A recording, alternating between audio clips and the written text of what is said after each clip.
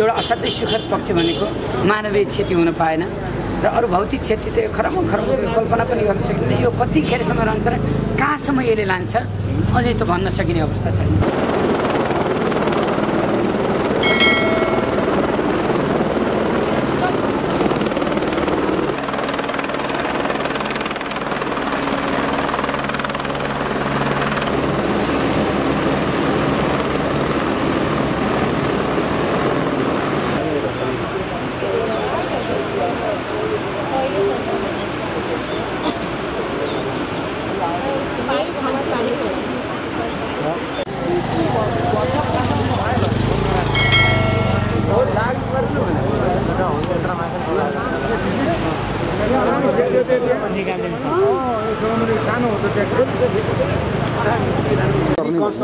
Reconstruct गर्नै पर्छ reconstruct गर्नै पर्छ कि बिस्तारै? रिकन्स्ट्रक्सनको एउटा अर्को भनेको नेचुरली पनि हो। नेचुरली खोला तल गयो भने दाइ नमस्कार। नमस्कार। कति बजी आउनुभयो तपाईँहरू? हामी बिहान आठ नौ बजीतिर आयौँ। आठ नौ बजी आउनुभयो।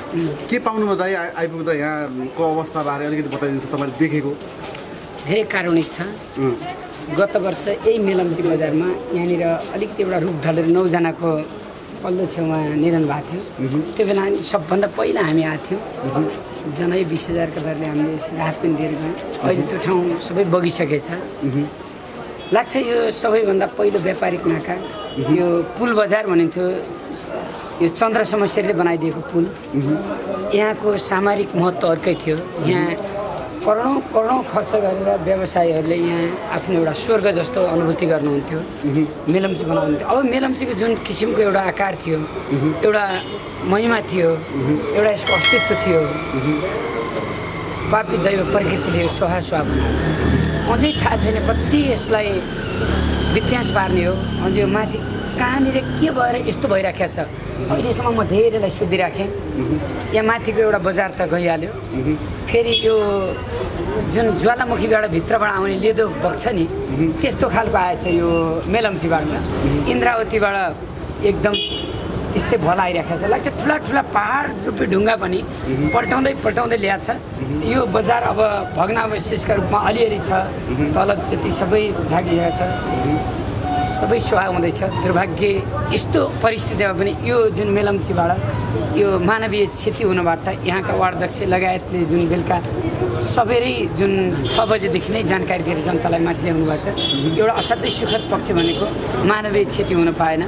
र अरू भौतिक क्षति त खरब खरब कल्पना पनि गर्न सकिँदैन। यो कतिखेरसम्म रहन्छ र कहाँसम्म यसले लान्छ अझै त भन्न सकिने अवस्था छैन। तपाईँले उद्धार भएका सबै सबै उद्धार भन्दाखेरि उहाँहरू सबै आउनुभयो। एउटा मात्रै सबैको चाहना आफ्ना यत्र ठुल्ठुला घर घरभित्रका सरसामानहरू बल्ल बल्ल बनाएको कति बैङ्कमा ऋण छ कति के छ एउटै परिवारको सातवटा घर पनि एउटा परिवारका सात भाइ सातवटै परिवारको सबै जाँदा पनि बुढी आमालाई पनि भेट्यौँ हामीले।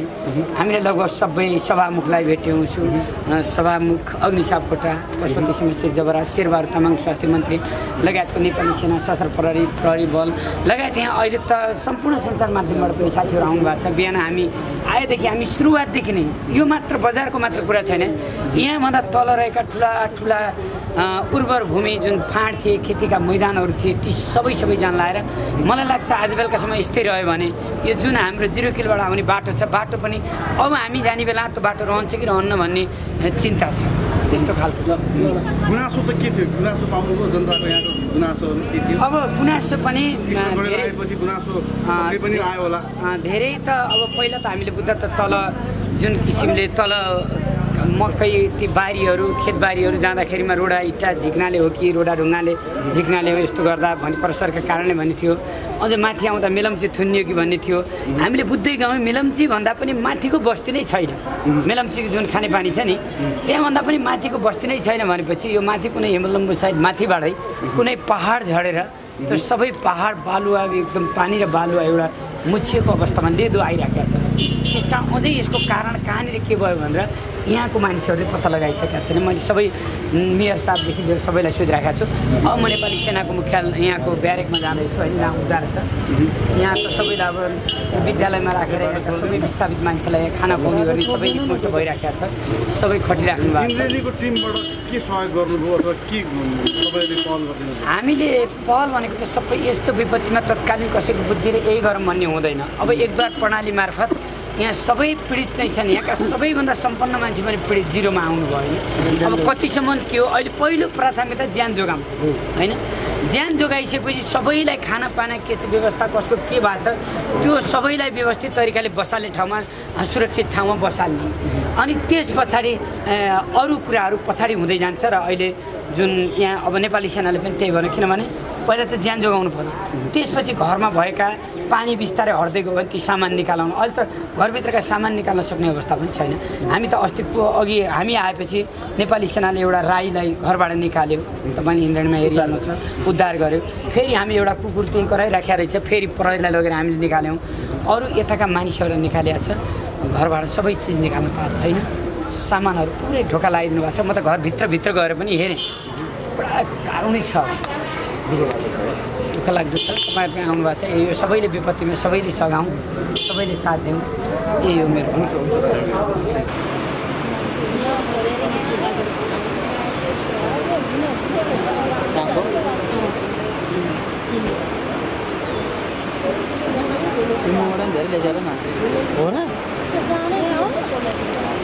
के हो भने चाहिँ मेलम्ची बजारलाई अलिक समस्या हुन्छ भन्ने के अब खोला अब दुइटैको अब तरासै भनौँ अब यताबाट आयो यताबाट छेक्यो यताबाट छेक्ने भने डर सर यताबाट आयो भने यताबाट छेक्ने भने सर अब त्यही।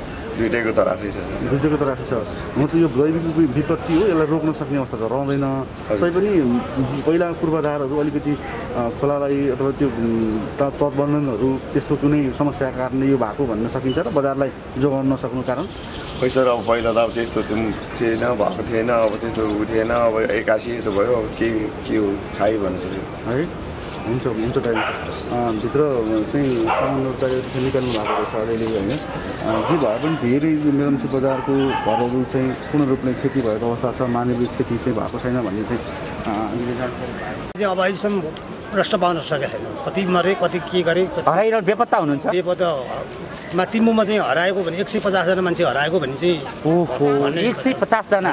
यहाँ पनि दुईजनाको मृत्यु भएको भन्ने कुरा आयो होइन? हजुर खानेपानीमा काम गरिरहने जम्मा तिनजना भाग्ने सफल भएछन् के अरे खाजा खान जाँदाखेरि मेलम्चीको ड्याम फुटेर।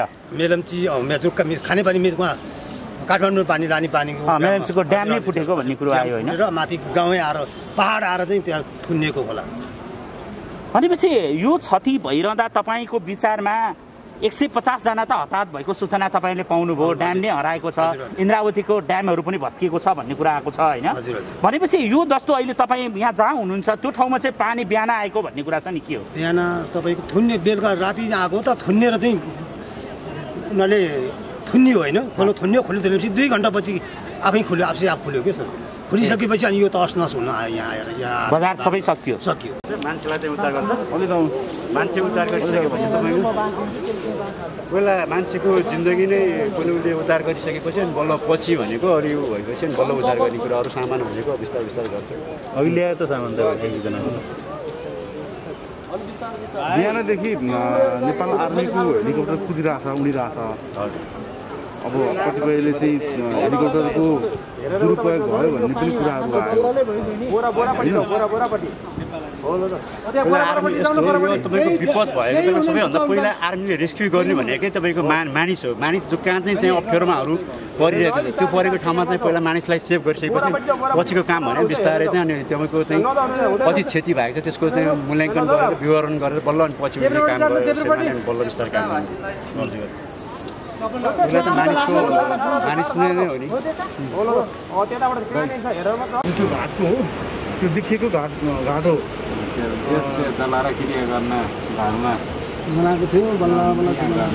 भनेपछि तपाईँले यस्तो कहिले देख्नु भएको थियो यस्तो भएको थाहा छैन के भएर एक्कासी के अरे बाढी एकदम लेदोले आउ आउन कारण क्षति भयो पहिरोको कारणले भन्ने कुरा छ नि त हो पहिरो आएको कि ठुलो पहिरो आएर त्यहाँ ठाउँमा पहिरो गएर छ?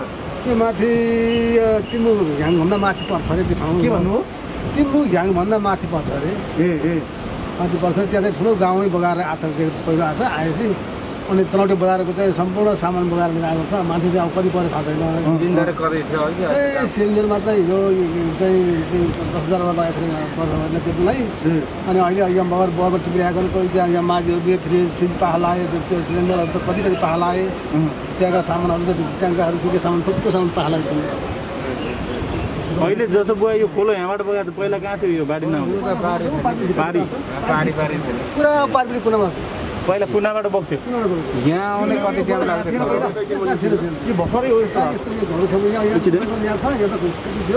यहाँ यहाँ पच्चिस लाख पच्चिस लाख मान्छे हेर्नु यो ठाउँमा। यो आमा हेर्नु चोक भनेको चाहिँ यो यहाँनिर पर्छ। यो आमा हेर्नु खोला कतापट्टि थियो त्यसो भए पुरा पारिवार थियो यो पारिवार ऊ त्यो बुढी- ऊ त्यो जब अहिले चाहिँ बालो बालो सेतो देखिरहेको छ नि। खोला चाहिँ त्यही भए मात्रै हो वरिपट्टि भाग चाहिँ त्यहाँ के छोरा नत्र सबै पानी अनि अहिले खोलो बगिरहेको छ नि यहाँ चाहिँ के थियो? चोक। बाटो पनि थियो यहाँ? बाटो? आमै गाडी त गाडी राख्दाखेरि गाडी त्यहाँ राख्ने गाडीको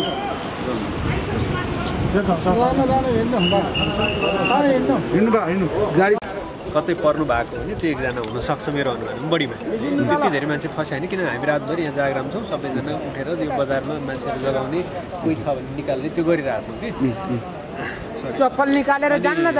त्यो गरिरहँदाखेरि सूचना पाएको त्यति बेलै बिहानै कोही दुईजना चाहिँ आउन मानेन। होटेलमा चाहिँ उहाँहरू चाहिँ बसिराख्नु भएको थियो। उहाँहरू दुईजना चाहिँ मिसअन्डरस्ट्यान्डिङ भयो बाढी आयो। भने उहाँहरूले तल बुझ्नु भएर माथि कुद्नु भयो कि अरू कुनै बुझाइले चाहिँ माथि बस्नु भयो केही हुँदैन त्यो थाहा भयो। तर त्यसरी फस्या दुई तिनजना भन्दा हामीले सुन्न पाएको छैन। उहाँहरूको चाहिँ रेस्क्युको काम चाहिँ नेपाली सेनाको हेलिकप्टर उहाँहरूको ट्रेन स्टाफहरूले अघि नै गरिसक्नुभयो त्यसमा चाहिँ कुनै उयो छैन तर बाँकी अरू रेस्क्युका अरू खालका काम बढी जस्तो चाहिँ घुम्ने सयर गर्ने यस्ता खालका काम अलिक बढी देखिराखेको छ। अब त्यो हामीले अब इन्डिकेट गरेर यो व्यक्ति ऊ व्यक्ति भनेर भन्नुभन्दा केही निजी कम्पनीको हेलिकप्टर ल्याएर राज राज्यको स्रोत साधन कहीँ न कहीँबाट आफ्नो खल्ती त प्रयोग गर्ने होइन। नेताकै खल्ती भए पनि त आखिर त राज्यकै स्रोत साधन न हो। अनावश्यक चाहिँ अनावश्यक रूपमा दुरुपयोग गर्ने अनि त्यो फेसबुकमा फोटो हाल्नलाई चाहिँ दुरेको पहिरोमा गएर यसरी सेल्फी हाने जस्तो पाराले यो त्यो ठाउँ होइन कि? पीडा परलाई थाहा हुन्छ नि त। मेरो घर पुगेको छ मलाई थाहा हुन्छ नि त के चाहियो हामीलाई एक्चुअलमा हाम्रो रिक्वायरमेन्ट के हो? त्यो विषयमा त हामीलाई बढी जानकारी हुन्छ अनि यस्तो यस्तो चाहिँ अब के भन्ने अब दुर्घटनाको पर्यटन जस्तो। के अरे दुर्भाग्यको पर्यटन भनौँ यसलाई अझै। यस्तो यस्तो बढी भइरहेको छ कि? र त्यही पनि राज्यको स्रोत साधनमाथि दोहन गरेर। यो खालको प्रवृत्तिहरू अलि यस्तो यस्तो खालको हाम्रो सिन्धुपाल्चोक लगायत नेपालको अन्य जिल्लाहरूमा पनि यसै देखिने नै हो।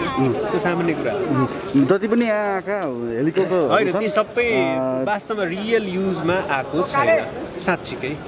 मैले देखिरहेको छु एउटा कम्पनीको हेलिकप्टर दसचोटि चक्कर मारेर के त्यस्तो खोज्या हो र?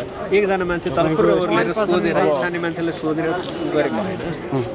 यहाँ के छ निड के छ कहाँको फर्स्ट भएको छ केही सूचना अघि अघि एउटा हेलिकप्टर यहीँ माथि आयो। सबभन्दा सजिलो त प्रहरी साथीहरूलाई त सबै सूचना छ। हामीले बारम्बार उहाँहरूलाई अपडेट गरिरहेको छौँ। उहाँहरूसँग सोधे पनि त को कता पस्नु भएको छ हामीलाई जानकारी सूचना दिनुहोस् कसो के त्यस्तो भयो भ्यालुएबल सामानहरू कहाँ कता छ होइन? त्यस्तो अत्यन्त जरुरी चिजहरू हामीलाई भन्नुहोस् भन्ने कुरा एउटा हुन्छ त्यो त हामीलाई पनि थाहा हुन्छ नि त।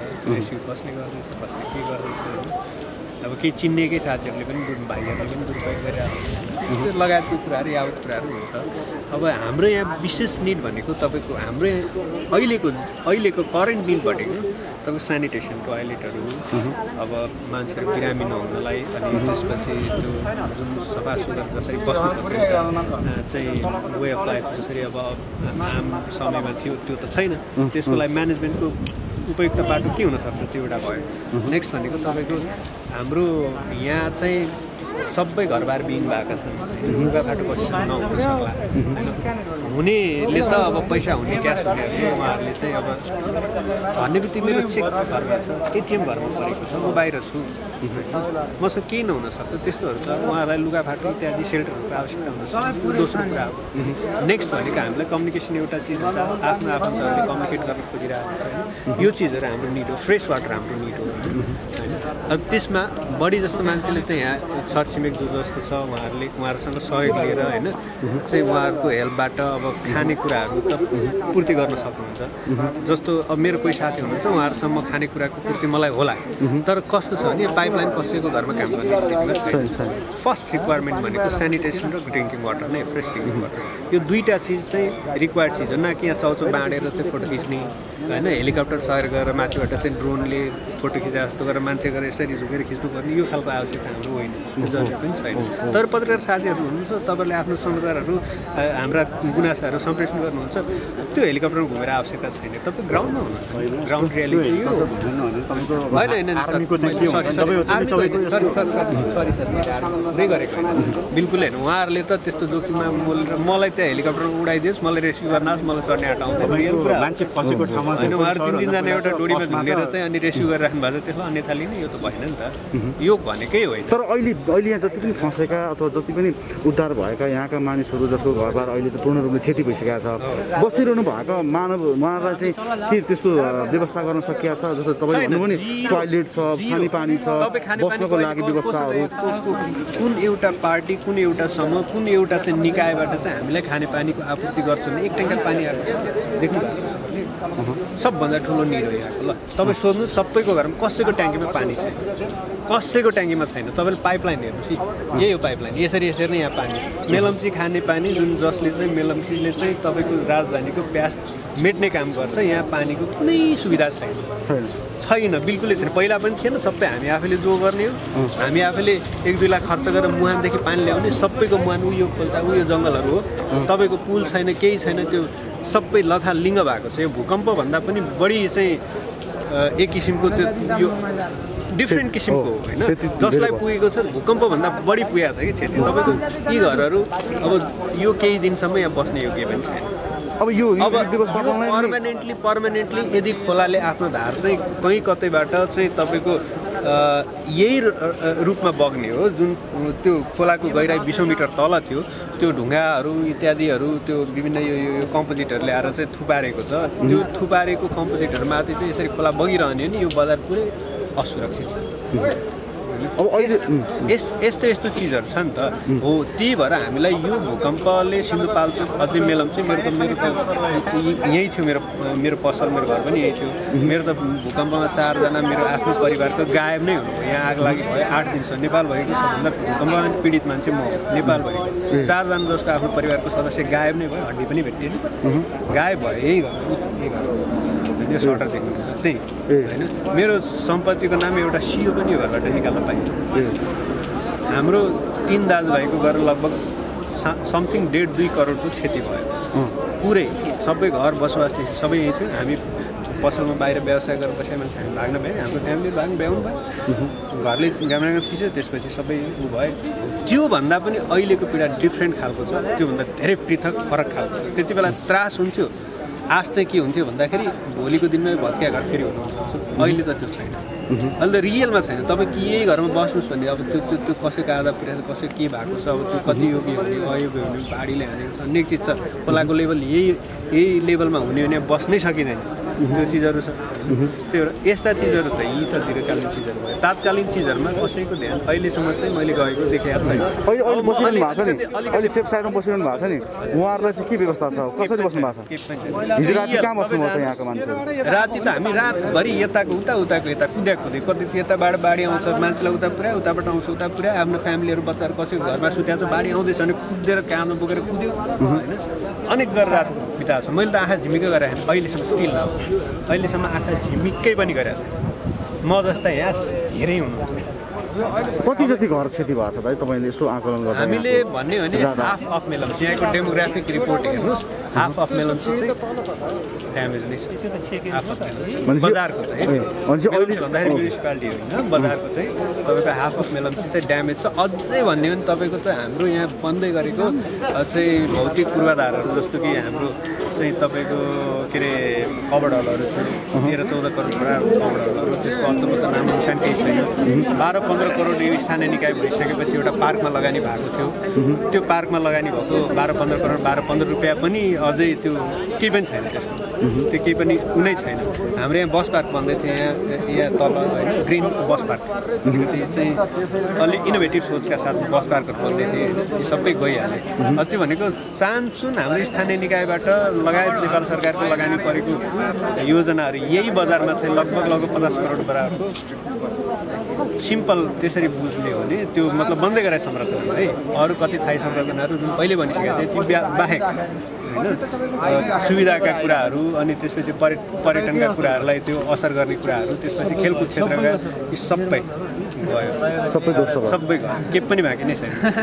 यत्रो समयदेखि त्यसपछि अब त्यसपछि बाँकी त तपाईँले अब देखिराख्नु भएको छ। आम जनताहरूको कस्तो क्षति भएको छ।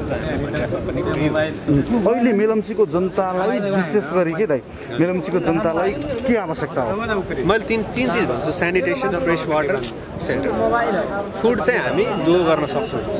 होइन यहाँ चाहिँ अब यो साइड हामीलाई एक्सेस छैन। यो साइडमा तरकारी आउँछ काठमाडौँबाट आउला हामीसँग अलरेडी अन्नको स्टोर छ यत्रो पसलहरू छ सबै ठाउँबाट स्टिल अब गाडीहरू चलिराखेको छ किनेर खान सक्ने र सर्टेन परिवारहरू जो नसक्ने हुन्छ उहाँहरूलाई सहयोग पनि गर्न सक्छ। भएन भने बाहिरको सहयोग त त्यही हो आउने मात्र। जो आउनुहुन्छ एक ट्रक चामल लिएर आउनुहुन्छ।